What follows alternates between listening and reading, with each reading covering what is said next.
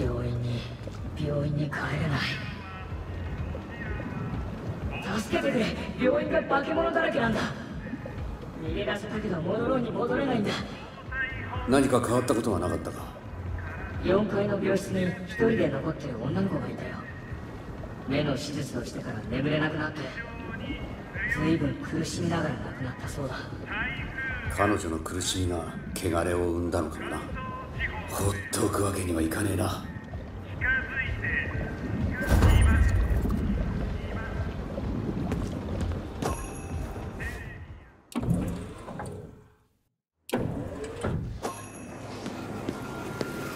確か病院の4階に女の子がいるんだよなロケットすんな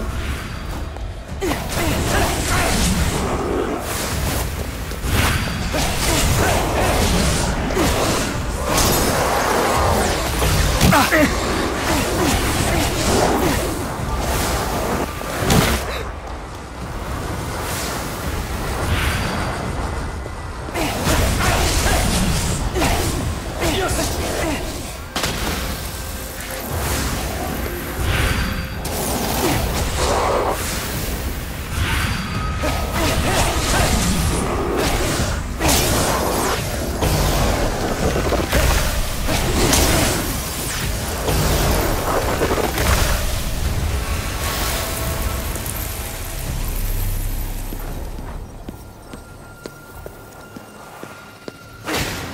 できればもう戦いたくないな。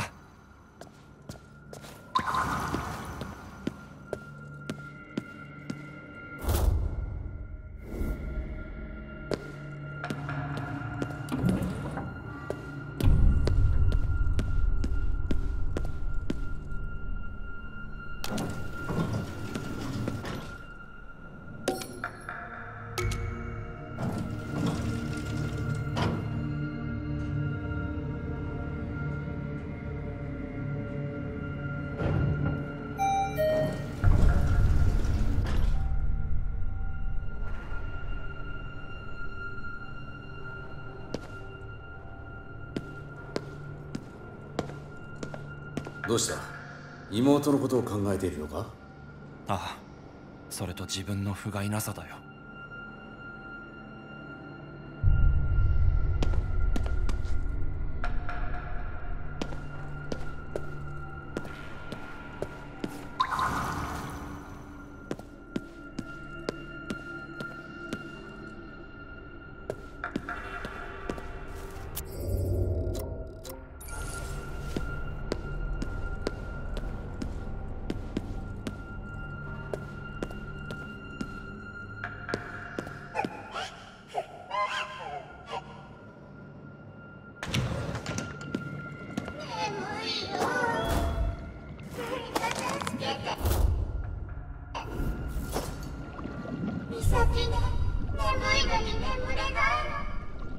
美咲ちゃんどうして眠れないの？私ね目をもらう手術をしたんだけどそれから目をつぶると怖い女の人が出てくるの。角膜移植か。提供者が最後に見たものが見えてるのかもな。3階に開かずの扉があって怖い女の人はそこから出てくるの。大丈夫。僕に任せて角膜の提供者と開かずの扉か。3階のナースセンターに行けば何かわかるかも。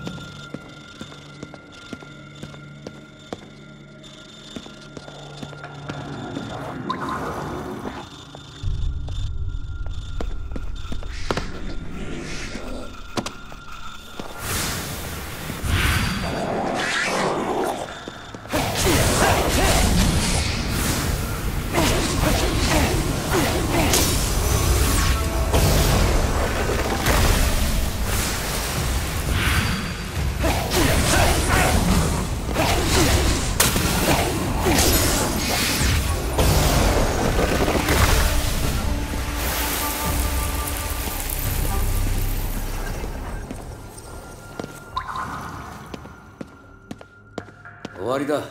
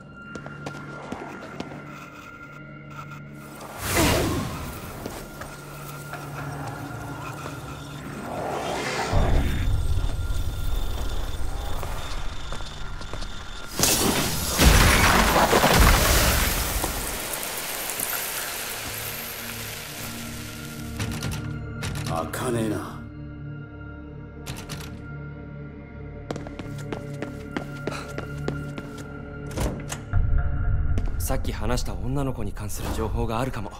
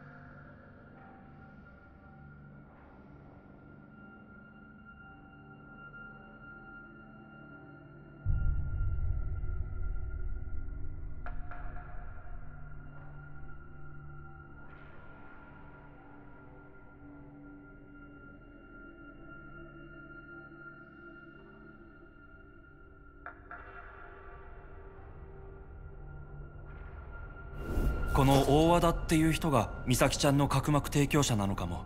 暗証番号は分かったし開かずの扉を開いてみようぜ。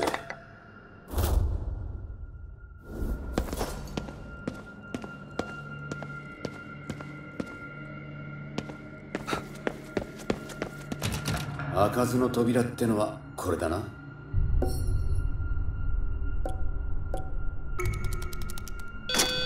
よし開いたぞ。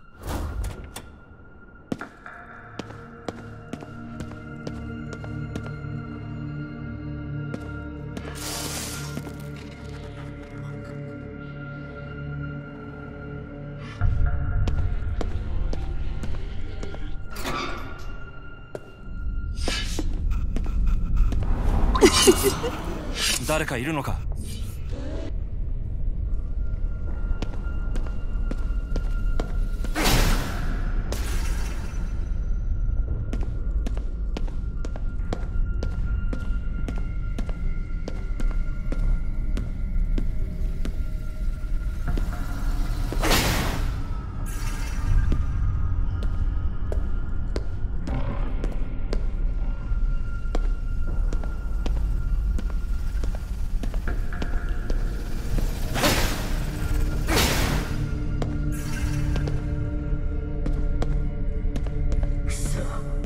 見えるのか。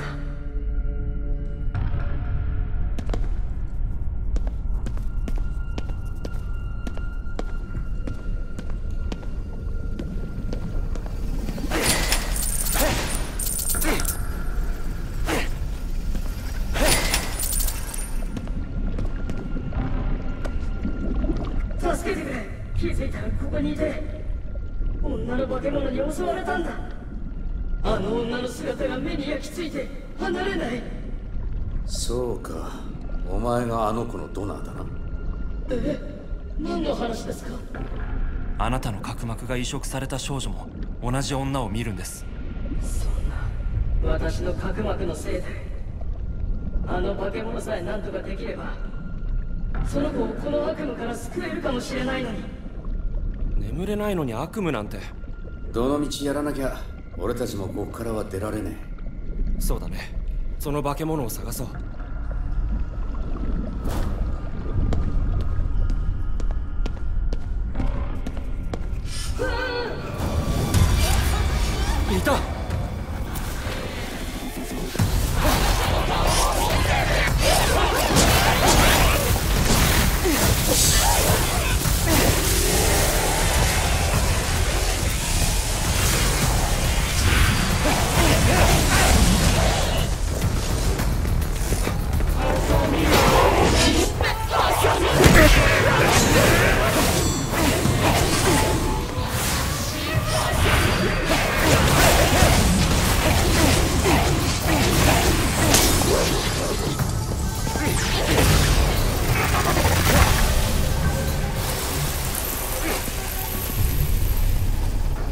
くやった。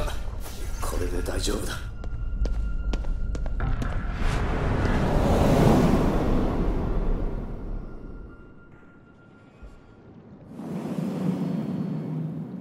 元の病棟に戻った？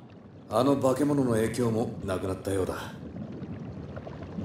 二人とも目をつぶってみな。もう大丈夫だよ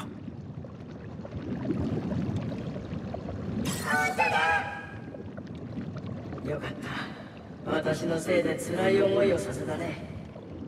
おじさんのせいじゃないよ。目をくれてありがとそう言ってもらえると救われるよ。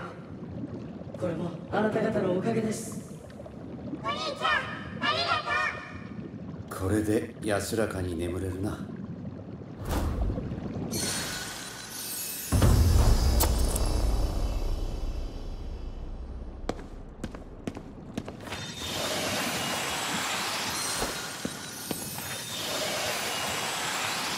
ちにやるしかねえな。